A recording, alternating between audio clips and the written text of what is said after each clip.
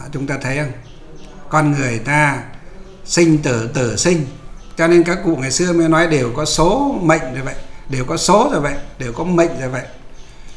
Nhưng quan điểm của Phật giáo thì khác ở cái chỗ của các cụ chúng ta ngày xưa thì nói số mệnh là gì?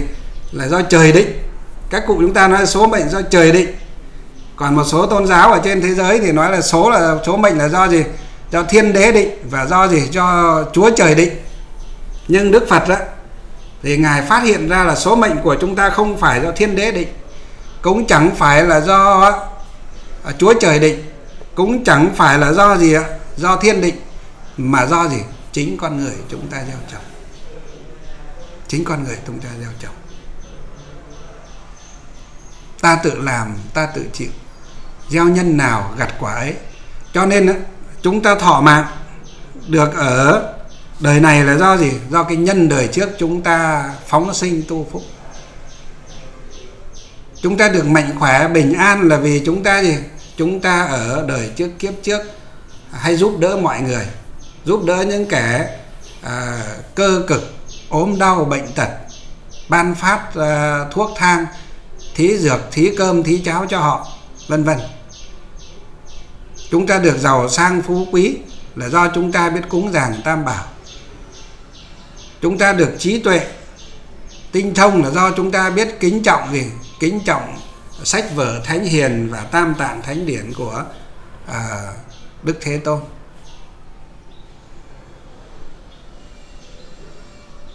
Cho nên tất cả đều là do gì? Cái nhân lành chúng ta thì trồng vào đời trước mà đời nay chúng ta được thọ hưởng cái quả báo giàu sang phú quý thọ mạng hay là chúng ta keo kiệt bủn xỉn tham lam tật đố sân hận à, ở đời trước mà thọ cái quả báo là gì? Bần cùng ti tiện nghèo cùng khổ sở bệnh tật ốm đau và yếu mạng vân vân. Đó cho nên quan điểm của Phật giáo chúng ta thấy khác hẳn với quan điểm của gì? Của cha ông chúng ta ngày xưa là, là mệnh là do gì? Do thiên định. Nhưng còn từ khi Phật giáo Đức Phật xuất hiện ở trên đời này thì Ngài nói không phải do thiên định mà do gì? Chính con người chúng ta tạo. Nhưng nó cũng có định nghiệp từ kiếp trước thật. Thay đổi được không? Đức Phật nói thay đổi được. Chúng ta có thể thay đổi vận mệnh của chúng ta được. Chúng ta thay đổi được. Đó cho nên các quý vị á, muốn ờ, biết cái chuyện câu chuyện thay đổi vận mệnh như thế nào hãy tìm đọc cái uh, cuốn sách à, rất nổi tiếng ở trong Phật giáo bây giờ. Đó là quyển sách tích phúc cải mệnh của ngài uh, cư sĩ Vương Liễu Phàm hay còn gọi là có sách thì dịch là Liễu Phàm Tư Huấn. Cuốn sách đấy có uh, tác giả thì dịch là Liễu Phàm Tư Huấn có tác giả thì dịch là gì là tích phúc cải mệnh. Ở chùa khai nguyên có rất nhiều phát miễn phí cho các phật tử. Ai muốn ờ, đến đọc có thể đến để thỉnh về để đọc. Ừ, mà từ giờ trở đi tất cả những cái phật tử mà gì ạ, mà gia đình nào mà kém phúc kém duyên, đặc biệt là những đôi vợ chồng trẻ cưới nhau mãi mà không sinh con đó. nên cho tụng kinh địa tạng. 21 ngày. Và nên ấn tống cái ờ, khoảng độ tầm mấy chục quyển sách này. Và về đọc quyển sách ấy, khoảng độ tầm 5 đến 10 lần. Đọc và làm theo được cái gì thì làm. Đọc tất nhiên phải làm. Nhưng mà tùy theo điều kiện, kinh tế, điều kiện gì à, thời gian, tâm lượng của mình, làm được bao nhiêu việc thiện thì làm, phát nguyện để làm việc thiện thì lúc đó là cái việc ờ, cầu quan cầu tự thì thầy nghĩ rằng 10 người cầu sẽ được cả 10 trăm người chờ cầu có thể được cả trăm. Hoặc có trượt thì trượt một vài người quá kém phúc mà à, không y giáo phụng hành để làm theo thôi. Đó. ông Vương Liễu Phàm. Từ khi sinh ra cho đến năm 53 tuổi 49 hay 53 gì đó ông thầy ờ, phong thủy ông thầy tướng số. Ông ấy xem uh, bói vận mệnh ông ấy đoán vận mệnh của ông Vương Liễu Phàm không sai một chút nào. Thậm chí là ngày nào tháng nào thi đỗ cái gì đoán cũng đúng luôn. Bao nhiêu tuổi lên làm chức quan gì cũng đúng luôn. Làm quan gì được bao nhiêu đồng tiền lương cũng đúng luôn. Và đặc biệt là gì? Không có con cũng đúng luôn. Và đến năm mấy là gì? Là hết thọ mạng lại chết. Có mỗi cái này là không đúng. Không đúng vì sao? Vì đến đúng cái tuổi ấy thì ông Vương Liễu Phàm này mới thấy giật mình nói rằng cái người thầy à, phong thủy bốc quẻ xem số đoán mạng cho mình là không sai một chút gì. Và trực nhận ra năm nay chính là năm tuổi của mình. Năm nay chính là năm hạn cuối cùng của mình. Ông ấy xem cho đến năm nay là chết ông ta buồn quá đem bỏ hết tất cả công an việc làm bỏ cả chức quan huyện của mình đi huyện lệnh của mình đi đi đến chùa đi lang thang đây đó rồi ông cứ lững thững lững thững đi. Một thời gian như thế tự nhiên ông đến một cái chùa gặp một vị hòa thượng. Thấy hòa thượng đang ngồi thiền ở trong uh, uh, chính điện ông lên ông ấy ngồi bên cạnh. Hai người ngồi với nhau như vậy ba ngày ba đêm.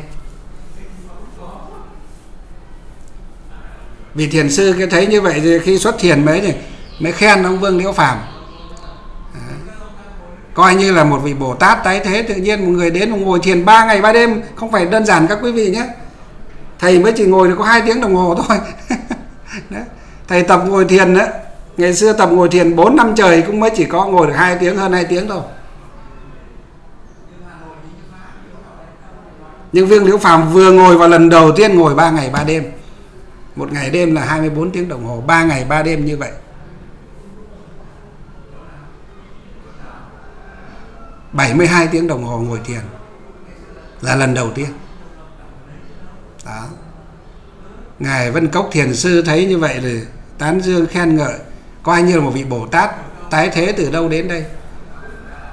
Hỏi ra mới biết thì, mới hỏi rằng thì ông vương liễu phàm nói rằng là thưa đại sư con chẳng phải là à, bậc à, bồ tát chuyển thế gì gì đâu. Vì con cảm thấy chả còn cái gì để mà mà mà tin tưởng nữa thì con biết là con chả còn cái gì con buông hết con cứ ngồi thôi. Con chả nghĩ cái gì nữa vì con thấy chả còn gì để mà nghĩ nữa. Xong rồi kể cái câu chuyện mà ông thầy bói lại cho ông ờ, cho cho thiền sư nghe. Ngài vân cốc thiền sư ngày mới ổi hóa ra tôi tưởng ông là bồ tát ở phương nào đến là cao nhân ẩn sĩ ở nơi nào đến hóa ra cũng chỉ là một gì một kẻ phàm phu tục tử chẳng có à, gì hơn cả. Và thiền sư mới nói thì qua đó ông nói chuyện qua lại mới dạy cho ông cái phương pháp. Nhà phật có phương pháp có thể gì? Cải đổi vận mệnh. Chuyển xấu thành tốt. Chuyển họa thành phúc. À, nối thêm được thọ mệnh thọ mệnh dạy cho ông và khuyên ông thì đi bắt đầu đi về, từ nay đi về mỗi ngày phát nguyện phải làm bao nhiêu việc thiện. Và ông, từ đó ông về phát nguyện theo. Khi về ông phát nguyện, ông làm thiện được đủ cái số việc thiện ông phát nguyện một cái thì tự nhiên là vợ là có mang và sinh con trai qua năm đó ông không chết. Và sau này ông còn làm đến đến chức chi phủ, tức là làm gì? Làm đến chức chủ tịch tỉnh bây giờ. Nhưng trong khi đó cái số mệnh của ông chỉ làm đến chi huyện. Lương như thế, đến ngày tháng đó là chết, không có con. Nhưng chúng ta thấy tự mình có thể gì? Tích phúc cải mệnh thay đổi tất cả về công danh sự nghiệp về con cái và về cả gì? Cả mạng sống của mình. Sau này ông thọ đến gì? Đến gần trăm tuổi. Thêm mấy chục năm nữa. Cho nên cái à, các phật tử chúng ta đặc biệt là những gì? Đôi vợ chồng trẻ hoặc là khá tuổi rồi mà cưới nhau không con không cá hoặc là những người ốm đau bệnh tật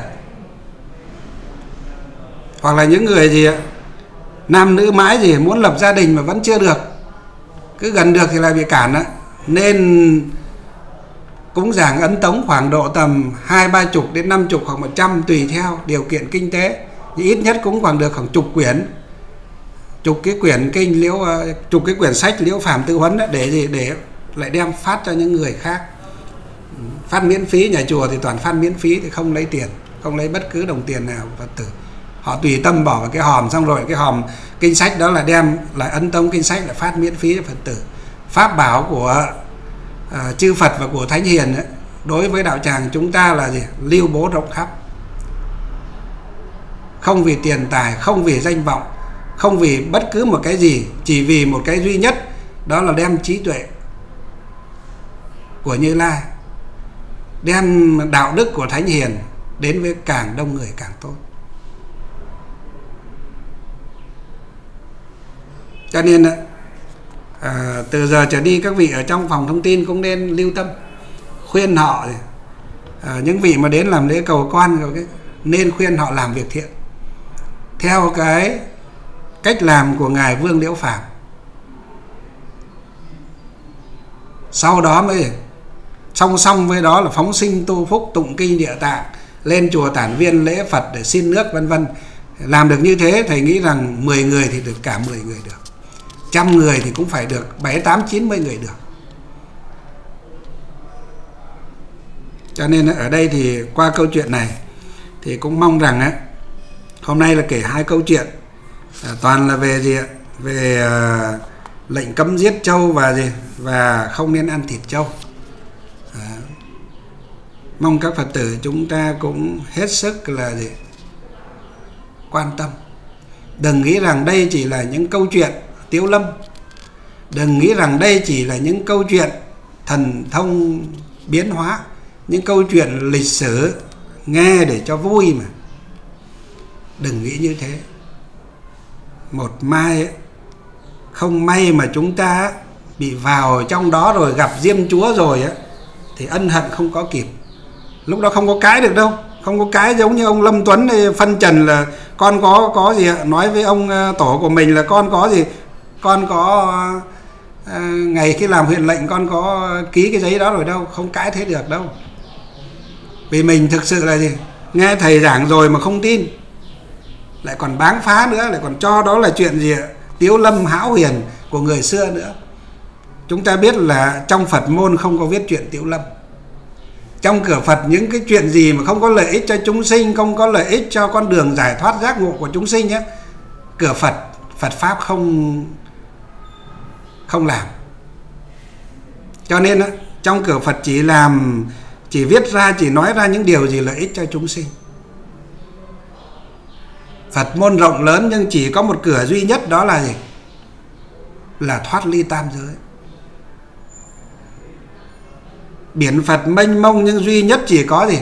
Một vị, đó là gì? Vị giải thoát.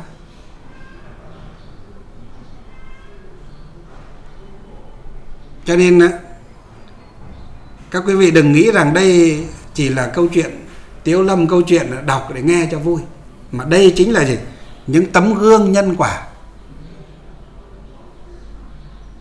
Chư Phật Thánh Hiền, các ngài thì thi hiện ra để cho chúng ta gì? Thấy được. Các ngài viết lại những cái câu chuyện, những cái điển tích ấy cho gì? Cho chúng ta biết được để mà kinh ngờ sợ sệt. Đọc. Nghe được đọc thấy, nghe được được thấy, được đọc, được nghe, được biết. Chúng ta phải gì ạ? Phải cung kính để mà gì? Tín thọ phụng hành. Phát nguyện là gì? Là tin sâu nhân quả. Không nghi ngờ về lời Phật, lời tỏ lời các vị Bồ Tát. Ứng cơ thì hiện để dạy bảo giáo hóa chúng ta. Như thế thì chúng ta mới có lợi ích như thế thì chúng ta mới gì? Mới tu tập được. Đó cho nên thì bài giảng hôm nay thì qua hai cái câu chuyện trong này cũng rất mong các phật tử chúng ta thì à, hoan hỉ và thực hành càng sớm càng tốt. Đừng có nghĩ rằng á, con còn trẻ lắm à, con còn trẻ lắm con còn gia đình con còn con cái. Còn trẻ mới phải làm việc thiện các quý vị. Còn con cái cháu chắt đông thì mới càng phải làm việc thiện nhiều các quý vị các vị đừng nghĩ rằng á, ăn chay thì gì, nó yếu. Ở chùa khai nguyên là tất cả các sư đều ăn chay. Ăn chay trường hết. Mà các sư ở trong chùa thì làm quần quật cả ngày, cả đêm, còn làm hơn các quý vị ở ngoài đời ấy. các vị đến thấy các sư ở trong chùa gì, thường tam bảo hạ nhà bếp cái gì cũng làm. Máy xúc, máy cẩu, máy ủi, máy gạt rồi á, các thứ làm được hết. Cái gì cũng làm được đâu có phải ăn chay là yếu đâu.